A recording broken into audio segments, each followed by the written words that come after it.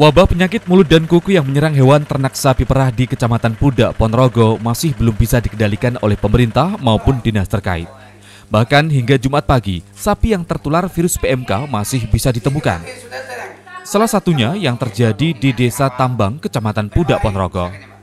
Hingga saat ini masih ada sapi perah yang menunjukkan gejala terjangkit PMK, yakni sapi tidak mau makan dan mulut mengeluarkan air liur secara terus-menerus. Tak hanya mengandalkan obat dari pemerintah yang sudah mulai terdistribusi ke peternak, para peternak pun juga terus berupaya melakukan pengobatan sapi dengan cara tradisional, yakni memberikan ramuan jamu berupa kunir maupun air kelapa.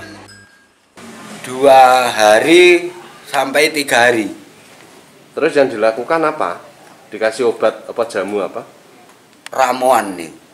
Kunir, kalih temu, madu, niku. Dari data di Desa Tambang, Kecamatan Pudak, masih ada sapi yang mati akibat PMK.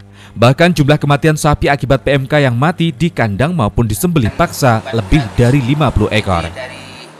Tapi sampai saat hari ini bertambah terus tiap-tiap harinya itu di Desa Tambang. Tiap hari itu ditangani, tapi terdampaknya makin keras makin cepat penularannya ya kayak kayak penanganannya itu kurang kurang puas karena banyak yang sakit kan itu.